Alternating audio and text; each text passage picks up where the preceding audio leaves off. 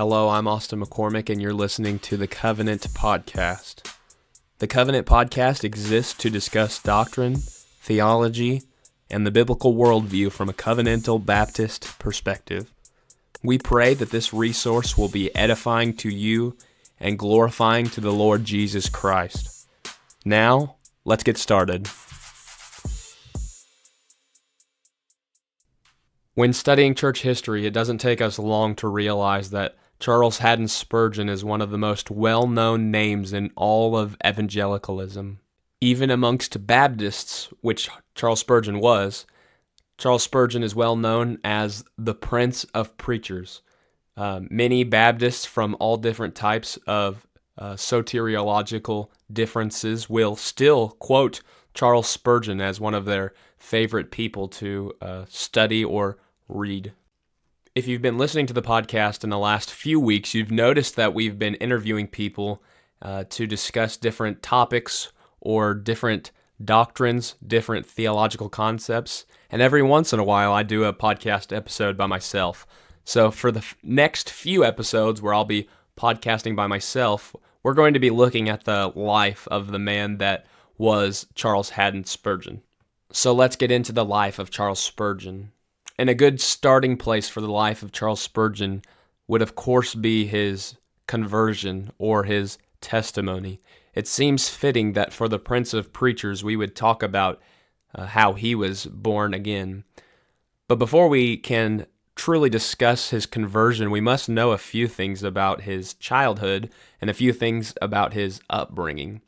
Charles Spurgeon was raised in a somewhat Christian environment uh, not the environment that he would come to know doctrinally in his own ministry, but his father and grandfather had been ministers of uh, independent church congregations. Uh, he had early memories as a, as a child of reading works of the Pilgrim's Progress and Foxe's Book of Martyrs. The Pilgrim's Progress is a work by a particular Baptist named John Bunyan that wrote of an allegorical story of Christians described as pilgrims on their journey to uh, a celestial city, which is ultimately heaven. So Charles Spurgeon was uh, influenced with Christianity, but he himself was not a Christian until this day, January 6th of 1850. On this day, January 6th of 1850, Charles Haddon Spurgeon was on his way to church. Uh, he was on his way to a certain church, but because of an extremely fierce snowstorm, he was forced to go to a church that he actually did not attend intend on attending. And as he was on his way to this church, uh, he found a little chapel, and the name of this chapel was Artillery Street Primitive Methodist Church. And so Spurgeon went to this church service, and during the snowstorm, there were few people there. Uh, there were such few people there that actually the minister of this this Methodist chapel himself was not able to attend.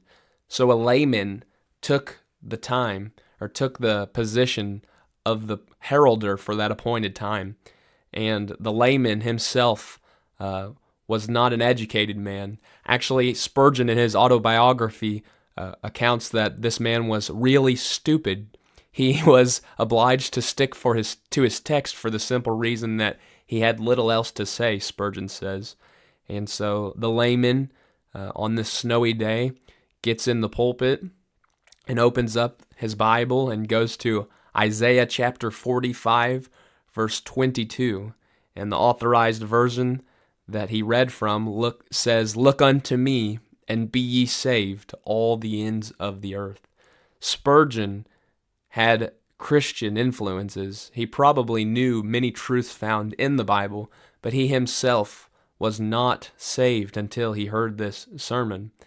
Uh, the minister is quoted to have saying, If it ain't lifting your feet or your finger, it's just a look. And the minister supposedly preached for around 10 minutes and then uh, told them to look to Christ, told them to look to uh, Jesus who could save them. And so Spurgeon sat under this short sermon.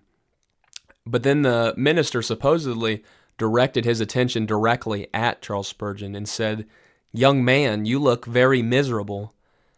And then Spurgeon in his autobiography writes, Well, I did, but I had not been accustomed to have been remarks made from the pulpit regarding my personal experience. I can imagine if a preacher personally called me out from the pulpit. But the preacher continued, You'll always be miserable. Miserable in life, miserable in death, if you don't obey my text. Young man, look to Christ. Look, look, look. You have nothing to do but to look and live. And so Spurgeon recalls uh, I saw at once the way of salvation. The clock of mercy struck in heaven the hour and the moment of my emancipation, for the time had come. Spurgeon was raised around preachers. He was raised with uh, works such as Foxe Book of Martyrs and The Pilgrim's Progress. He was on his way to church. He read his Bible. He prayed, but he was not converted until he heard the text Look unto me and be ye saved. After studying the scriptures for some amount of time, Spurgeon finally came to the conclusion that uh, immersion was the only biblical method and proper form for baptism. So a few months later, he followed through with believers' baptism, and the specific date that he was baptized was May 30th of 1850, which was actually his mother's birthday. And we mentioned earlier that Charles Spurgeon was raised around Christianity, yet he would come to doctrinal conclusions that would differ from his family. Uh, after he was baptized in his autobiography, he would go on to write about his baptism. I knew that my father and my grandfather took little children in their arms, put a few drops of water on their faces, and said they were baptized. But I could not see anything in my Bible about babes being baptized. I learned a little Greek, but I could not discover that the word baptize meant to sprinkle. So I said to myself, They are good men, yet they may be wrong. And though I love and revere them, that is no reason why I should imitate them. And they acknowledged, when they knew of my honest conviction, that it was quite right for me to act according to my conscience. I consider the baptism of an unconscious infant uh, just as foolish as the baptism of a ship or a bell. For there is as much scripture for the one as for the other. Therefore, I left my relations and became what I am today, a Baptist, so called, but I hope a great deal more a Christian than a Baptist. So, on this day of May 30th, 1850, just a few short months after his conversion, uh, he was baptized by uh, a Baptist missionary, Reverend W. W. Cantlow, in the river of Lark. So, this is Spurgeon's salvation testimony and his uh, obedience in believer's baptism. And uh, what I'd like to do before we close is discuss three areas of application that we can take from whenever we observe the life of Charles Haddon Spurgeon's conversion. So, the first application point is God's sovereignty over Spurgeon's salvation. Uh, God from eternity past knew uh, exactly whenever Spurgeon would repent and believe because he decreed that it would happen. Uh, God gave Spurgeon the gifts of faith and repentance and knew that Spurgeon would be converted on January 6th of 1850. And uh, not only did God decree that it would happen, he decreed all the means and the things necessary to make it happen. Uh, God actively decreed the snowstorms that would cause Spurgeon to stumble into the primitive, primitive Methodist chapel. God's sovereignty and uh, God's providence brought Charles Spurgeon to this Methodist chapel at this appointed time. Uh, God's sovereignty kept the minister home and God's sovereignty used the layman to uh, preach the sermon title, Look Unto Me. So we can observe from the life of Charles Spurgeon that God has decreed when people will get saved, and we can trust in God's sovereignty over salvation. Another area of application that we can draw from Spurgeon's testimony and conversion story is the free offer of the gospel during the preaching of this layman. Uh, the layman, as Spurgeon said, was quite stupid, but he was wise insofar as he preached a salvation message. On a Sunday, a snowy Sunday, the preacher, although uneducated, looked to the scriptures and read the scripture and preached the scripture and told the young man, Look unto me. As preachers of the gospel of Christ, we have been commanded to preach to all creation. We have been commanded to tell others to repent and be converted. We have been commanded to tell others to call upon the name of the Lord. And every gospel or every sermon should include some kind of gospel invitation. Every sermon should point to Christ. Every sh- sermon should uh, discuss some form of faith and repentance that leads to salvation because of Christ's work. So, if we observe the life of Spurgeon, we see uh, the preacher that preached at him preached the free offer of the gospel during his sermon. And another area of application that we can draw from Charles Spurgeon's testimony is uh, his doctrinal beliefs after his conversion.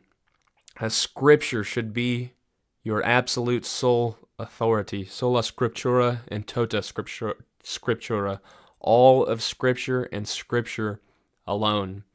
And I promise I'm not taking a shot at any of my Paedo Baptist friends, but I am looking at the life of a Baptist minister.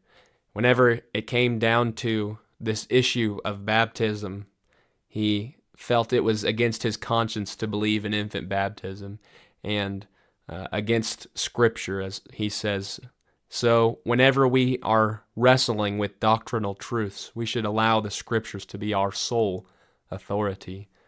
Whether it is the issue of baptism or justification or election or predestination or anything controversial, anything should be determined by what God has spoken through His holy word. Thank you for listening to the Covenant Podcast. If you've enjoyed this resource or you simply like the Covenant Podcast, head on over to our iTunes page, subscribe, and leave us a review. We are also available via Spotify, Google Podcasts, Stitcher, YouTube, and Podbean. Thank you for listening to the Covenant Podcast. Grace and peace to you.